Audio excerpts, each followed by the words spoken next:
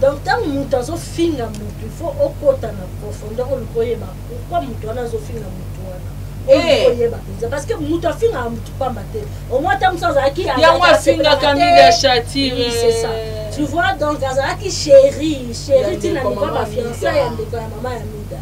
ah. euh, sikoya libala te mama makongo sikoyo nde tolobaka le passé na biso efosalaka efort ezalaka malamu ah. eye kokanga ye ti le passé sikoyo yo oza na kati ya relation na mutu moko boye oyo mutu wana mpe aza mpe na bandeko to na babeau frère baza na kati ya milie ya miziki mais sikoyo yo na milie ya miziki wana ta mosusu na bamusicien oleka ta mosusu na 5 musicien mm.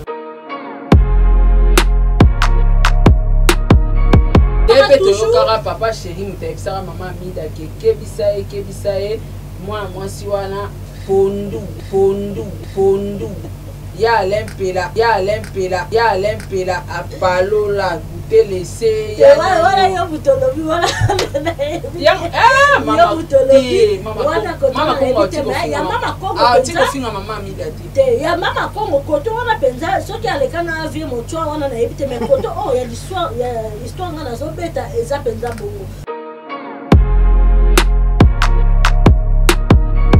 siko yebisa ngai eza eh, lokola nga nazanya azala claire donc papa chéri moto abomela ye cope donc papa chéri moto abomela ye cope eh, papa chéri abomela ye cope te papa chéri abomela ye cope te eza eza ke mama neti nga naza na ndeko na ngai ya mwasi yango na loba nga naza na ndeko na ngai ya mobali ndeko na ngai leki na ngai ya mobali ndenge aza wana bosco ndenge avandi wana to ye mpenza mwana na biso kaka moko ya mobali ndenge aza wana ayeli biso mwasi bongo boye mwasi wana sikoyo nga nayebi ke mwasi wana azalaka abetaka na bavie na nga moko deja 5 boye alandisa alandisa nayebi ke azala jamais sérieuse na vie na ye ozomona est ce que nakotika ndeko na nga kende kobala mwasi ya bongo bo soki bokosala baaventure bosala baaventure mais ntina niveau ya libala na kolinga te eh,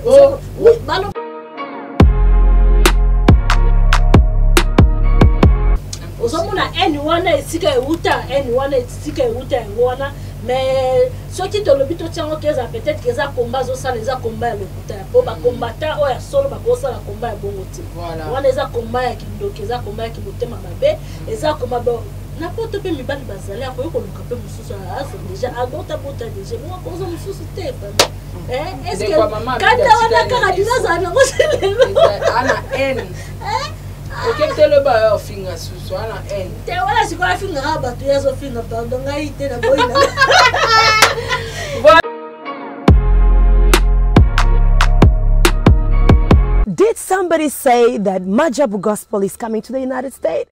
Yes, Majabu Gospel is coming to America. Pour la toute première fois, Majabu Gospel aux États-Unis d'Amérique the 16th of January, it is happening in Portland, Maine. An amazing, life changing, and epic concert.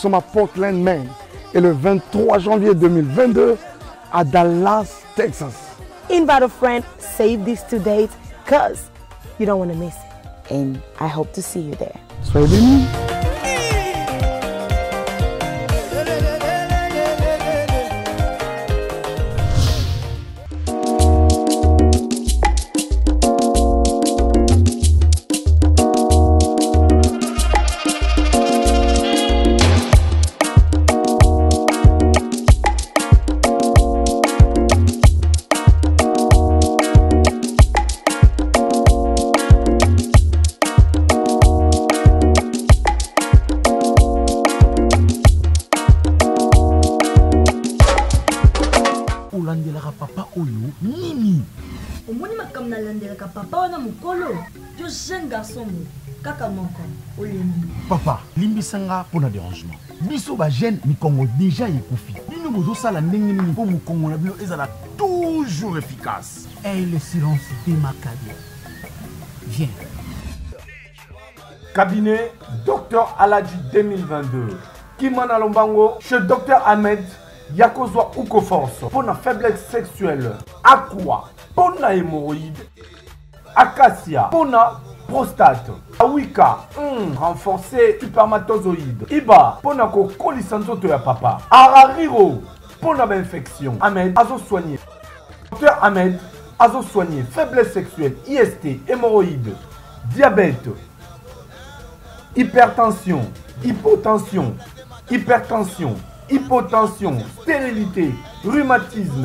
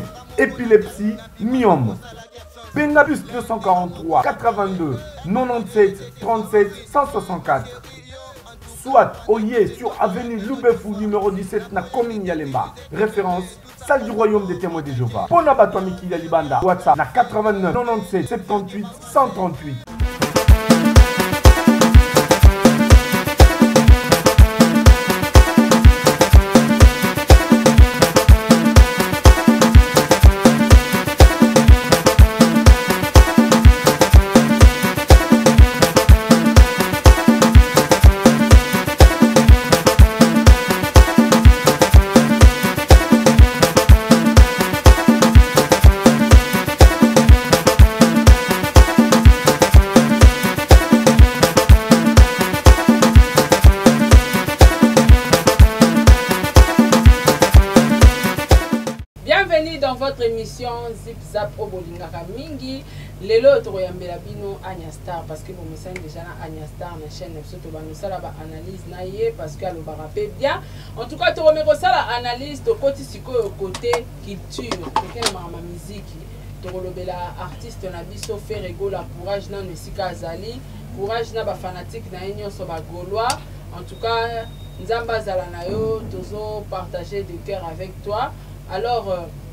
tokolobela fere gola bakangi ye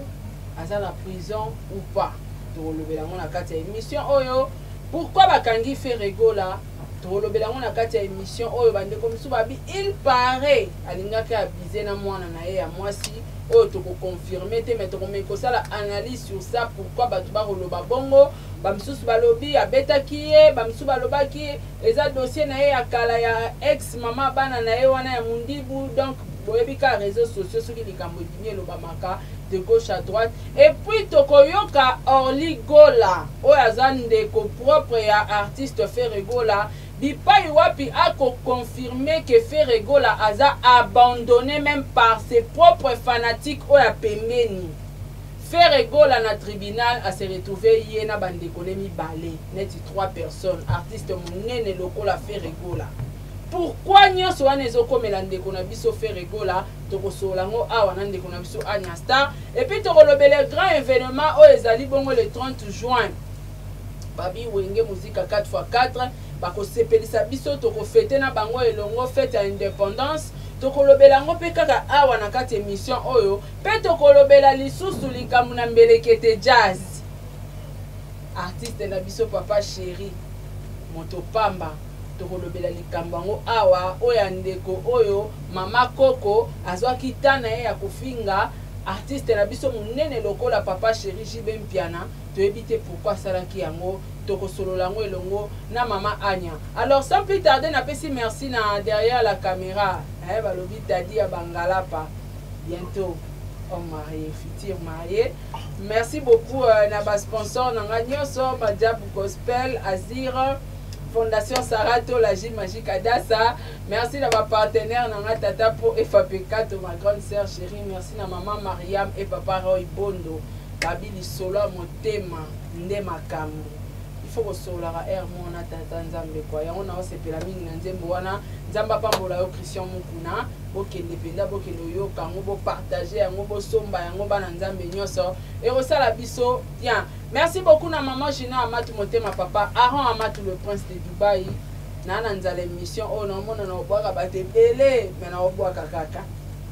merci na maman madolelo na germanie motema ya papa uh, motema ya papa samuel merci beaucoup na mele ya moebala privado ya orlando domingos merci beaucoup na maman jenny bete industriel mwasi ya pembe merci na papa diego milito merci na président charles tambwe Pourquoi pas na maman mapasa yaya moto merci na debo bushab merci na angelos caruana bob 08 merci na yo merci na merfi andrea merci na sol mbemba merci na makiala kumba merci na rose bonga celia kikela merci na eliezer kanu sara abwele edwige kalala pamela kabea dalia onyema merci na papa edi mk nasukisi bongo na président bebe na la présidente mama nathalie Montreal soki oza meme langage na nga fongola biso plateau toleka ah anya star toza na yo lisusu toza na yo lisusu tozokoba kaka boni masolo ah, masolo eza bien masolo eleka bien ezokende bien bando nyonso bandi mosala oui déjà déjà ozongeli nde bazongeli mpenza ya mikolo nyonso ndenge ezalaki te mais nabandi déjà mais avant tokɔta na baactualité na biso nauti koannonce awa Na olinga o ebetela biso lisolo ka mukie rapidement okotaka na omarabu ndeni obangaka te? Te na bangaka te nga moko ka na vandaki na bi te il faut na sala yango mais sikoyo na reflechisaki comment na ko sala yango na banda omona ba ndeko mosusu nde ba banda osala nga na lingai pas vraiment ko kende na nzela wana na bi te il faut na tangi na ngo na ko kende kaka te obandi kaka neti batu nionso kaka te mm. Donc j'avais pris mon temps, on a salle de formation, on a pique et tout. Et ok, on les cas qui a pique, hein? Oui, oui, lisusu ba formation na nga nalekaki mpe na ade de la gombe mpo na ba formation lisusu ya france mm. donc na apiki epuis nasali ba formation na ade de la gombe nde kuna place na bandaki ntango naye kozwa ba prive na nga namoni ke wi ifalaki na donc nde toloba boye anya ane na prive mpenza oh, ezali mpenza ya apiki donc ebanda mpenza ezali epuis je travaille mpo na informe nazo travaille mpe na apiki comme présentatrice na émission musicale ah ok ah, bah, engagé internet je suis Ah ok d'accord félicitations déjà c'est pas facile omoni nga alobaka ba congolais balingaka ko apprendre te mais elekeli nga bato oyo tobandaka kozwa bango na valeur te ntango oyo kaka danseuse fille moko terre à terre donc na biso yo niveau zéro mais yoka azoloba ke ye mpo aya korejoindre biso akendaki na ye nano na apic après apic oyo bokenda esu wapi apik asali euh, acte de la gombe mpo na baformation ya français ya langue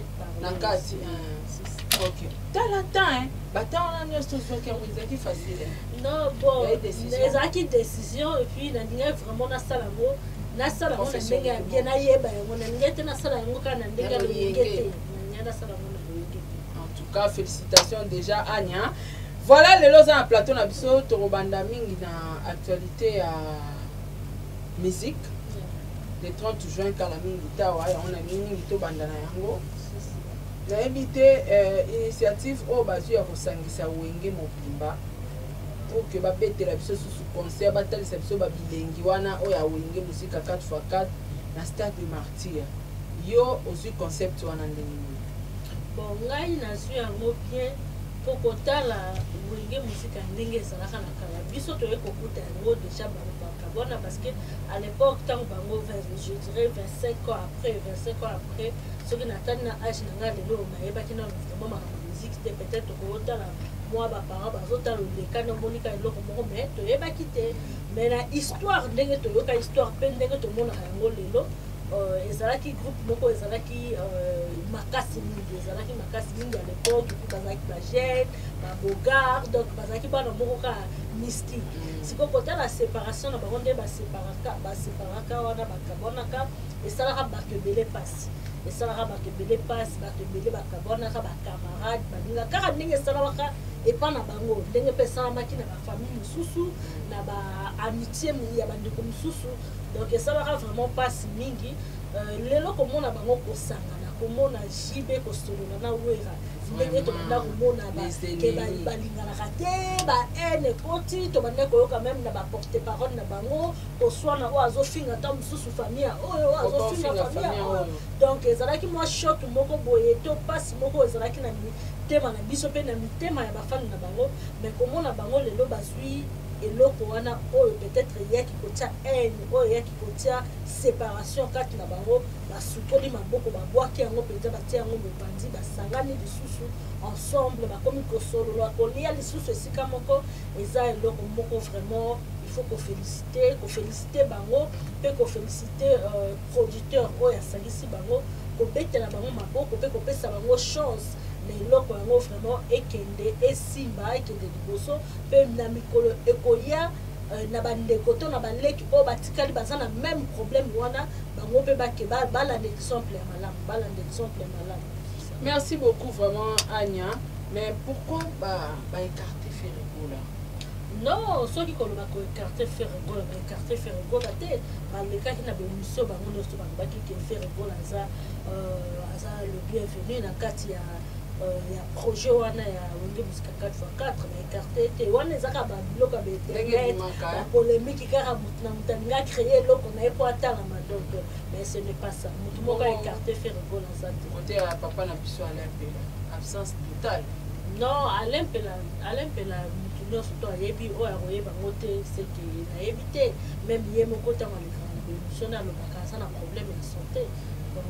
ndenge tolobaka sante nde eleki nyonso parcesoki sante eza mabe meme mbongo oyo tosalaka tosalaka yango mpo tozala malamu donc soki oza na mbongo sikoyo sante no eza malamu te ozobomba mbongo wana siki oza ndoki donc faut dépense mbongo wana nanu mpo sante ekoma bien mpo oluka sikoyo mbongo mosusu donc euh, sante nanu eza liboso sante no eza malamu te donc moyen aya eza te eza te ke aza na baniveau moko oyo ke akoki kotambola te to akoki koya te mais baniveau peut-être ke otala euh, climat ya kuna to euh, condition oyo azali kovivre kuna na condition na biso ya kongo awa eza eloko moko te donc euh, c'est ça yango esengi ke aye nanu te mais donc tokomi le 30 te ekozala mpe ke akomi mpe bien aye na ye mpe donc anya pire petite ya papa chéri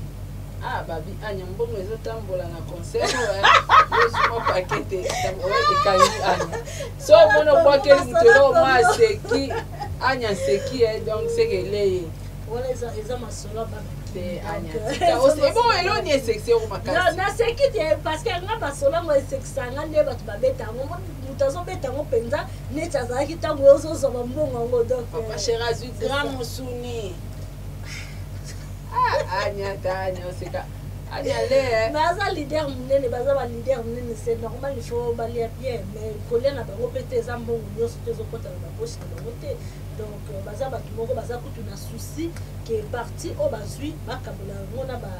bamama na biso oyo baveuve to basi ya basoda oyo bazobunda kuna na nini bazobunda na este kuna bafardc donc omona ke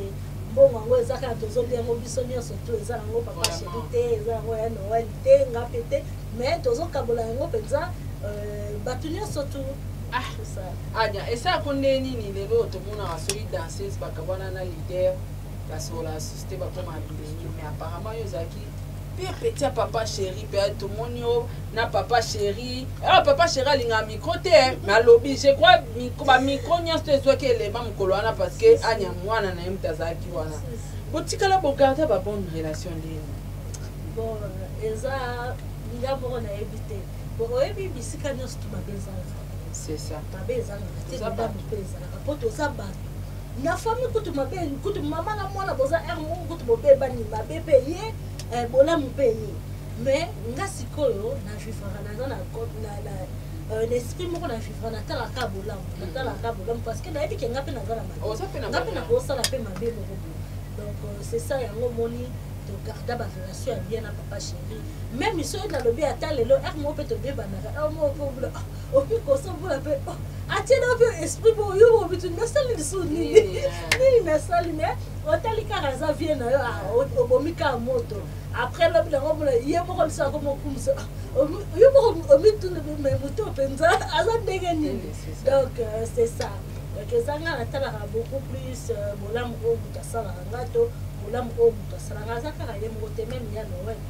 mokolo moko te otikala komona ngai naleka na émission naloba mabe ya werrason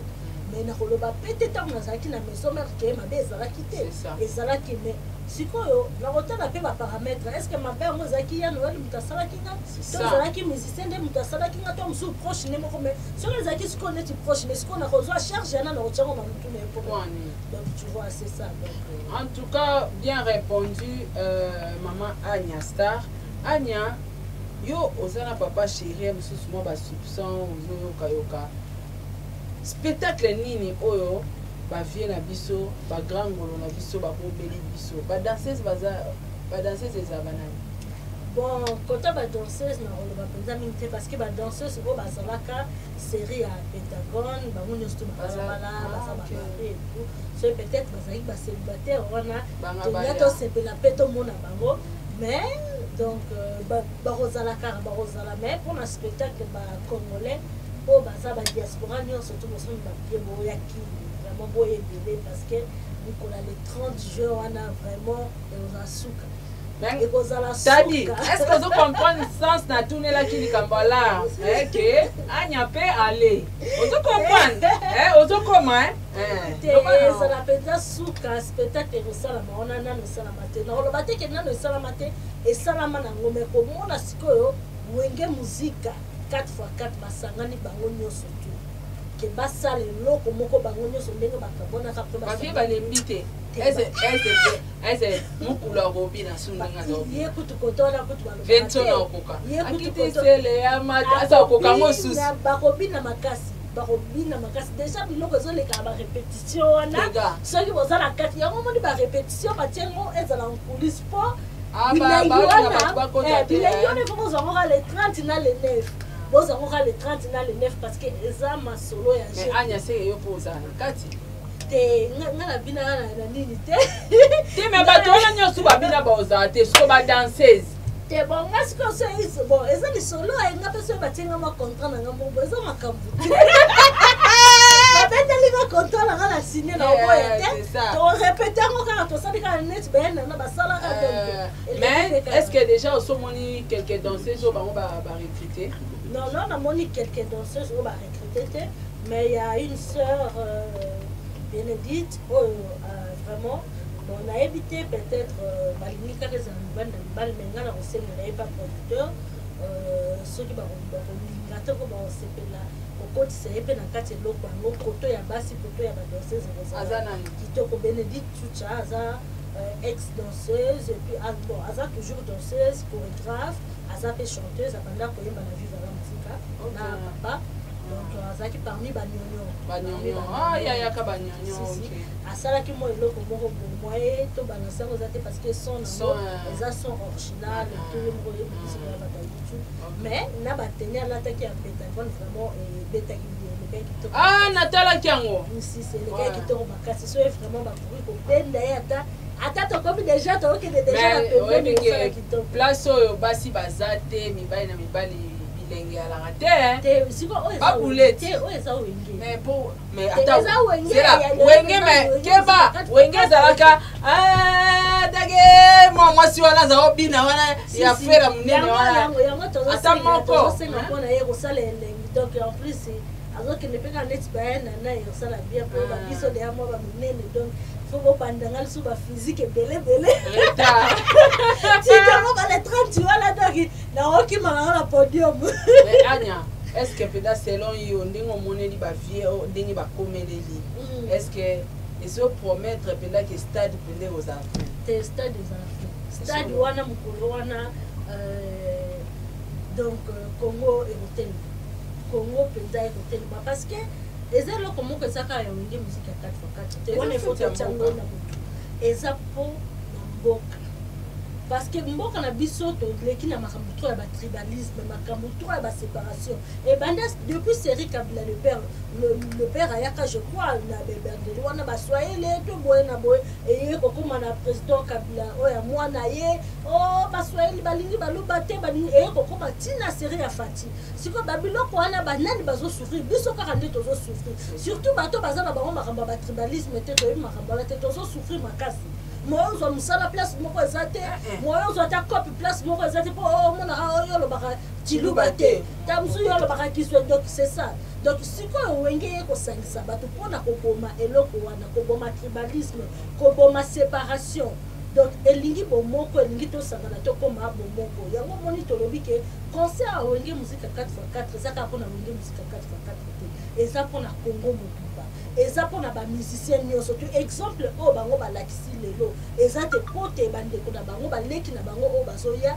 bafali bafere lelo bazalaka na barando pourkui te lobi mpe tomona fereodium moko na fali pourkui te lobi tomona mpe ta mosusu nde bo ya kofi waze qu'on avait déjà vu mais eza mpe na barobinio na bafabrigas héritier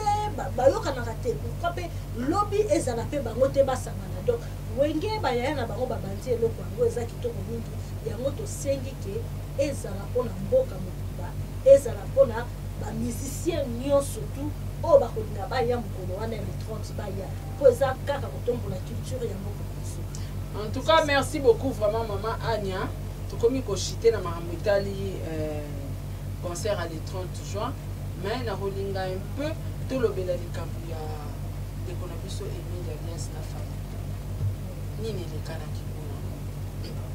bon nga nasalaki na bainternet motu motu abandaki kolobaka ndenge na ye nayaki kozwa initiative ya kokende tu sur place parce que nga mpe nasalaka sport kuna ezalaki na hotel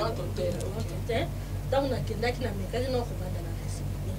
reception na bato ya reception nini elekaki apesi nga mpe vision na bango et tout euh, nakolinga mpenza lokola naza motu ya séparation te ya kokabola bato te nakolinga korelate vraiment nyonso elekaki te euh, parce que soki nabina condamné oyo na condamné oyo oh, wana tokeka na séparation ezala te bazala bomoko donc euh, elekaki ndenge oyo elekaki oyo oh, nga baexplikaki nga nayeki komonaki bato babundaki ezalaki fali na emelia te ezalaki peti ya fali nde non na emelia nde ayaki kosimba emelia euh, na nzoto par rapport ya bakopo na ye ya bemission euh, ndenge azalakosala kanda wana amoni ye amonaki ye aye kosimba ye mais fali mpe azalaki sur place fali mpe azalaki sur place mpasi kaka eza ke euh, soki c'était entre eux le musicien ça allait passer omonake peut-être eza lokola ngai nayo toza na problème sikoyo leki na ngai aye kosimba yo omoni te ke eza kitoko te ata nga nakosepela yango te nga kutu nakogangela leki na ngaa komo kosimba yo kosimba ye te parce que aza leki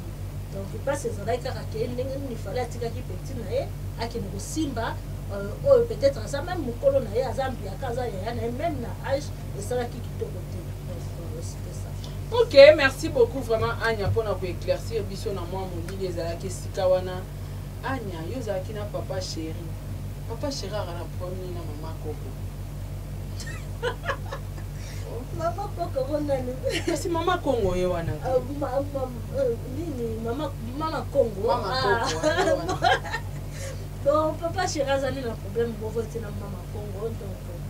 bato mpe bazotindela nga balive azosala ebele ebele nazo comprendre te so eza kaka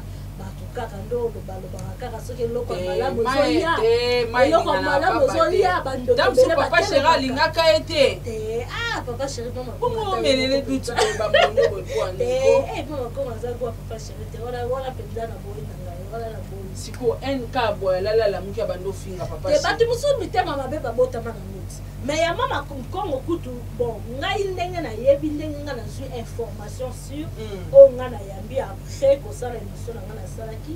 eza ke euh, mama congo euh, yo oyebi kaka ntango mwana mwasi azokola le passé soki otambolaki malamu te tosengaka te tobekaka kosalaka mwa effort totambolaka malamu toza basantu te mm. toza na biso basantu te euh, okoki kotrebuche mpe oleki mpe nzela moko mpe mais tosalaka effort tozongaka toujours bon mama kongo problème na ye ezali ke bon na confirme yango te naboyi koconfirme peut-être bato mosusu bakosepela te ye azalaka chéri chéri ya mama na biso ya leki ya ndeko ya mama na biso ya mobali ndeko ya mama na biso alinga chéri ya ndeko na ye azalaka chéri ya ndeko na ye soit disant mpe bakomaka ntina bafiançaille na ndeko ya mama amida eh, na ndeko ya mama amida donc ntango moto azofinga moto il faut okota na profondeur oluka oyeba pourkui moto wana azofinga moto wana eh. oyeba mpenza parce que moto afingaka moto pamba te omoi ata mosu azalaki yango afingaka mide ya chatire tu vois donc azalaki chéri chéri ntina niva bafiança ya ndeko ya mama ya mida ah. euh, sikoyo ya libala te mama makongo sikoyo nde tolobaka le passé na biso efosalaka efort ezalaka malamu ah. eye kokanga ye ti le passé sikoyo yo oza na kati ya relation na mutu moko boye oyo mutu wana mpe aza mpe na bandeko to na babeau frère baza na kati ya milie ya miziki mais sikoyo yo na milie ya miziki wana ta mosusu na bamusicien oleka ta mosusu na 5 musicien mm. ta mosusu na 5 musicien soki otali mpe bapetit bavie ta mosusu ba 4 ba 3 sikoyo yebisa ngai eza eh, lokola ngai nazanya azala claire donc papa chéri moto abomela ye cop te papa chéri abomela ye cop te papa chéri abomela ye cop mama neti ngai naza na ndeko na ngai ya mwasi yango na bangai naza na ndeko na ngai ya mobali ndeko na ngai leki na ngai ya mobali ndenge aza wana bosco ndenge avandi wana to ye mpenza mwana na biso kaka moko ya mobali ndenge aza wana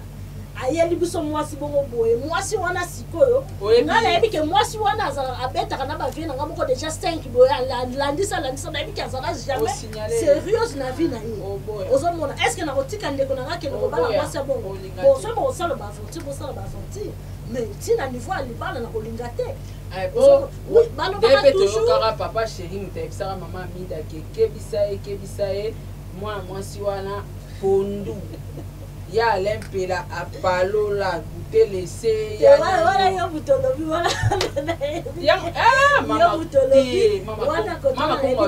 mama kongo atikofinga mama amida te te ya mama kongo koto wana mpenza soki aleka na vie motua wana nayebi te mai koto oyo oh, ya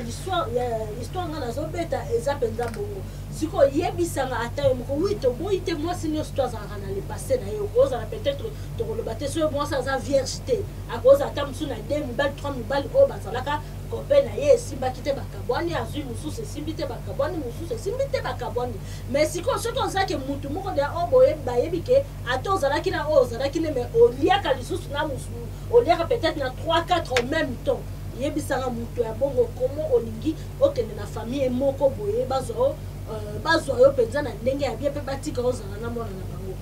ozomona haine wana esika euta haine wana esika euta yango wana mais soki tolobi totiango keza peut-être keza combat azosala eza combat ya po ba combattant oyo ya solo bakosala komba ya bongo te wana eza komba ya kindoki eza komba ya kimotema mabe eza komba na poto mpe mibali bazali akoki koluka mpe mosusu azo deja abota bota deja bongo akoza mosusu te vraiment eh, kanda wana kaka dina azala nango lelo oketele bayo ofinga susu ana haine te wana sikoyo afingaka bato ye azofinga pardon ngai te naboyi voilà tokomokende komatokokende na suka o oh, réalisateur ya nde nini afungolaka maboko ebiso ekende ekende o oh, réalisateur ya modèle nini en tout cas tokomokoma vraiment na suka na olinga vraiment tolobela dossier ya artiste na biso frigola na te soko oyoki basango nayebi te réaction na yo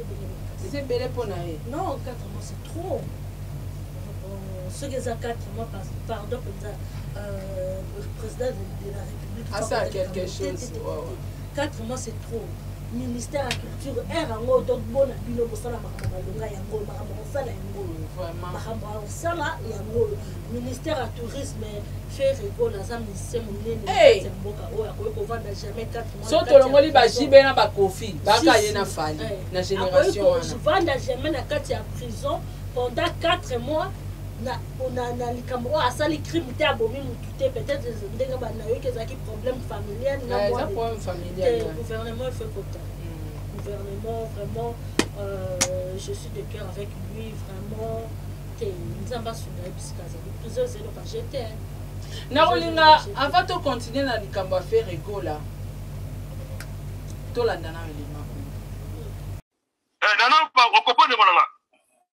bakongole oyebi ke nakei na procès ozo se retrouve fere ekola artiste monene ya congo na se retrouve tozaka trois personnes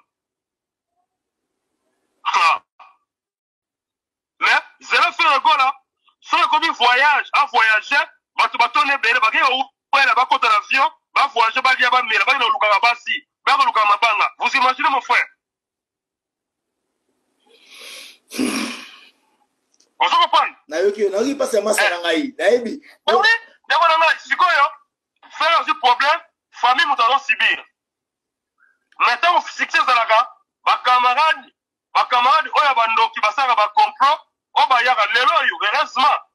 fere ekola akufi te fere ekola azali mais lelo so fere ekola azwi problème ngai yo orlikola naza na bino en direct na bana kolelaka vie yango matongo midi pokwa ti ekosila te me bino bokeluka bato mosusu babwaka bino me ngai na bana kolelaka tongo midi pokwa osololi en tout cas merci beaucoup frère ngata mbuma merci beaucoup nous sommes de retour anya star oyoki orly kola oyo azali bongo petit frère propre biologique ya artiste ferre gola ndenge aza ko se plaindre mpo na ba relation ba meilleur ami oyo bamibengaka ba vrai fan ya Ferre Gola ndenge ba abandonne ye na problème kaka ya mokie oyo ezwi ye problème familial réaction na yo nango bon réaction na ngai koyoka voice wana eza mpasi mingi eza mpasi mingi na motema kotala ke ntango oza na ntango ya bisengo bato mm, nyonso tona ntango okomi na moment ya mpasi euh, bango nyonso to bakei esika donc yango ngai nayebisaka bamusicien na baémission yango nasalaka vraiment motu oyo aza na yo na ntango ya mpasi ifo ozala na ye mm. ifo ozala na ye nasengaka na bamusicien balongola lolendo lolendo ekomema esika moko te lolendo ekomema yo esika moko te donc balongola yango bazala bato tu vois papa wemba ntango papa wemba azalaka na bomoi papa wemba azalaki motu moko nayebi te nayebi te ngai lelo nde nazalaka nayebi te niveau na lelo papa wemba hmm. nayebi te ti mokolo nini nakotika kolola ye parce que nalobaka lelo oyo ngai naza biso ye papa wemba azalaki ata nde natika mosala ya kidanses hmm. nakoma na niveau mosusu nalinga na pekise toujours parce que oyo ye azalaki mpo na ngai omona mutu aza na considération aza na souci na yo okende liboso droit yango nasengaka ba musicien bolongola lolendo bozala normal quelque soit mosala bozosala boconsideraka bato borespectaka bato place nde oyo omoni bato bakotelema bakoya kosunga oyo na likambo na yo me yebisaka wi toboyi te bato bayembaka bato babwakaka baza ata mosusu basali mabe na momo ya mpasi falaki bazala wana mpo na ye surtout oyo mpenza oyo balobaka ke vie na ngai oyo mpenza peti na ngai donk ye mpenza kua oyo ezalaka kutu bafutaka ata mbongo te mpo musicien abwaka ye ifalaki bazala wana bazala wana mokolo ya procès ya ya musicien ya beti na bango ya vie na bango elingaki epesa ye lisusu makasi batalaka artiste na kati ya tribunal bayeka 3 c'est ça elingaki epesa mpe lisusu bakasi parce que omoni motu na motu aza na bafaiblesse na ye elobi te parce que aza faire ebola aza peut-être na faiblesse te aza peut-être na motema te oyo ntango mosusu akozala mpe na besoin ya soutien atali boye amoni bakine baza wana epesi ye mpe esengo makasi quelque soit ke bayebisaki ya non tokateli yo 4 mois to nini omonaki ya baba eleka nango mpo bato na nga bazali eh. mais sikoyo komona ke ntango ye azalaki na libanda bozalaki ntango akoti na basi boza te olandi te oligola biso frere avoyage bango tu bayaka na avion bakei na eza basi mingi eza basi baki olia baki oseka mais frere aseretu trouver na problème moko na justice eh. bakutani ka toi fie fere fere ye moko na de bandeko ne mibale basali toi na justice ezolakisa meme pas kaza star tomonaki kofolobi nde bainterpelaka ye omona bato bazalaki omonaki papa wemba ntango bakangaka soki ezalaka mpe nokinoki memepresident mpe atelemaka kota likambo yango ezalaki mpe bafani bafani bazalaka ebele mokolo wana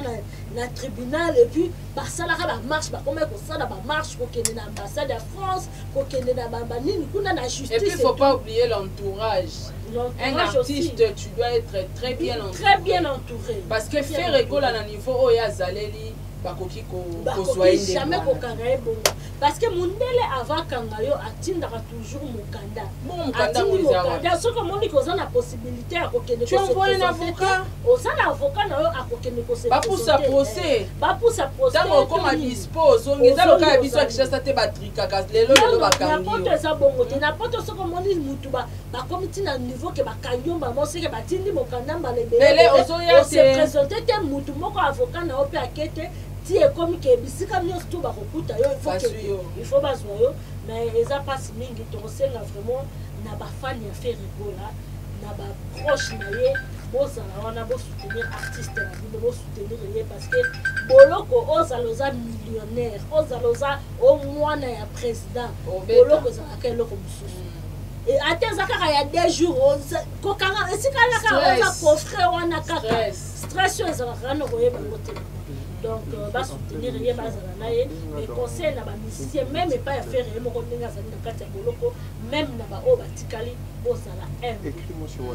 oyo papa oyo basala na congo to papa oyo basala na mokili ata musicien moko te atikali na kosala yango te hmm? oyo ta bula ya sala ata musicien moko ngai na oyo namoni atikali kosala yango te mais soki otali humble oyo papa oyo bazalaki na yango papa oyo obenge na telefone aza na kati ya bouchero ya mboa okola mputa alo star naza na dushe oza wapi ok yaka na ndako soki okomi eh, tuna se na do naza nakozala wana na nini na payote oye mpe otoki olobi na ye papa mpo okoti bobani na payote mpe bolie star oza wapi ake tozokutana na babozi tokozala na eh, restaurant soki nini donc ozomona considération azalaki ezaka mpo na ngai te mpo na bato nyonso considération na respect Papa bazalaki okoki kovanda ne nde tovandi boye ye avandi wana ministre akoti oyo nga ministre soki ya nini yango wana soki nini akoti yo mpo ozalaki na aoyebi so ata mokolo moko te ane abima na libanda yo sara kende na libanda mpo ngai fo nasolola na ministre jamais ka nde ministre ayaki akutaki yo ka ndenge akosolola makambo na ye atiki yo abimi akei omona respect na considération mutu mais bamisie mosusu baosala yango te abisokuta apeti bima nao libanda peti mais ntango mosusu naza premier dame ya mboka oyebi oyebi te donc na mokili il faut vraiment euh, kotala ya ndenge ozaleli te faut respect mpe considération na bato ezala na senge na bamisie oyo batikali mpe balukaka kozalaka toujours na bato baza bavrai vrai bavrai vrai oyo oh, mpenza ke soki oza na problème azala wana mpo na yo bazalaka na bato te ayebi ke ah, oza na mwa 100 franc opesa ye 100 franc ayebi ke ah, mwa voyage ezali okokende te bazala na bato baza vrai vrai ezala bien mpo na bango en tout cas merci beaucoup mama anya orépondre mpenza kitoko na baquestion na biso nakolinga mingimingi nazwa yo temps te tokomi mpenza na suka ya émission na biso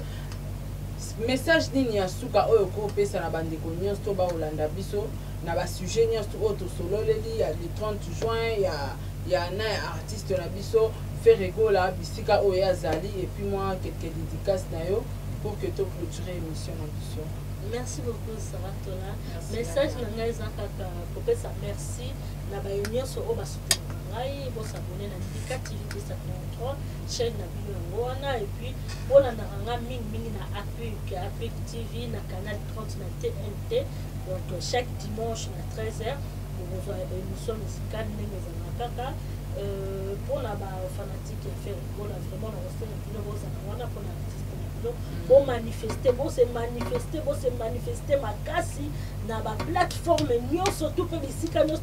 même ata nano aza na kati ya tribunal vous pouvez faire encore quelque chose mpo badimine pene wana bokoki kosala quelque chose pepele wana ondie fere aza na bafani euh, te bakitisi yango bakitisi yango bokende bosala bamarche bokende meme bosala oyo oh, bokoki kosala bolanda exemple soki peut-être bobosani botala bavideo ya bato oyo ya série bakangaka bakoyeba ndenge euh, batelemaka ndenge bareagisaka po esala mpe pesa force euh, force na bino ya soutien na bino nde ekopesa force moko ke gouvernement na biso mpe esaplike na kati ya parce que c'est comme si awa na kinshasa oyebi ke nayebi te ministère ya culture wana soki batia nani donc soki ifo tolongola totia musicien soki totia nani oyeba te jusque aujourd'hui ata euh, message moko ata communiqué moko na ministère ya culture etikali koleka te mpo na arrestationbazoyebi arrestation fere bayebi yango te bayebi yango na internet donc c'est la honte honte oyo ezali kosala vraiment kotala ministère monene bongo président de de la République aza kobimisa mbongo mikolo nyonso tu mpo ekoma mpenza structure ekoma bien bamusicien bazala alaise musicien monene lokola fere gola ata communication moko esalami te ezali soni mpe na mpasi donc grâce na bino bafanatike ya fere soki botelemi nde ekosala mpe ke biso awa na kinshasa biso awa tozotelema déjà po toza na susi ya musicien na biso quelque soit ke bango mpe bazalaka na bato na bango bajournaliste na bango bato na bango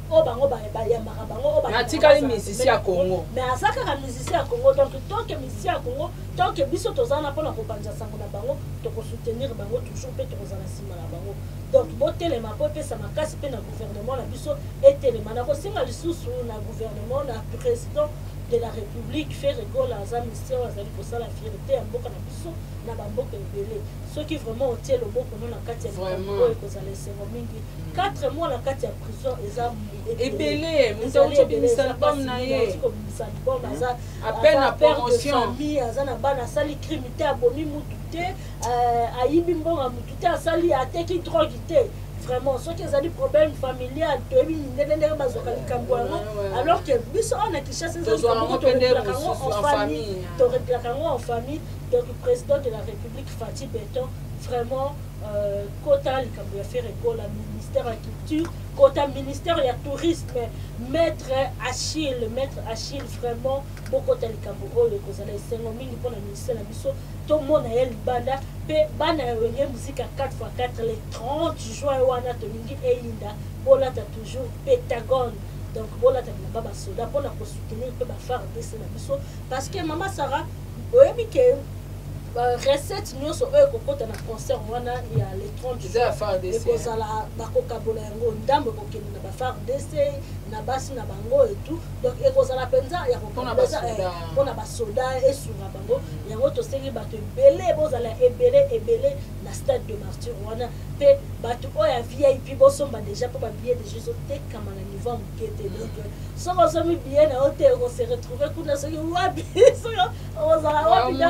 nayebi te boomona événement bien ekozala te mpe na bandeko mosusu oyo balingi oyo bamelaka masanga ye eh, baza na besoin ya koganye babiye na bango asomi masanga ne aganye biye euh, concours ezali kosalama euh, ezobanda vendredi oyo na 7e rue na place commerciale epuis vendredi samedi dimanche ekozala na ndile saint thérèse na place commercial déjà vendredi ezobanda wana okay. na braluma donc euh, soki osombi 4 bouteille na yo ya braluma obeti je wana okozala na chance ya koganye yeah. ye na yo ya stade de marti boya ebele vendredi nabengi bino mpo bato bamelaka balingaka masanga bobeta baje wana mpo bokende babiye na bino kookanye mpe 5 biye 10 biye oye mpe na famille mobimba okosala kaka biye merci beaucoup mama anya merci na bandeko nyonso bolandi émission na biso Soki bosepeli na yango, bokomela biso. Soki ba remarques ezali, bokomela biso na prive. Ekozala malamu mingi. Allez, ngai na bino tokutani mbala sima na emission mosusu. Au revoir. Ciao.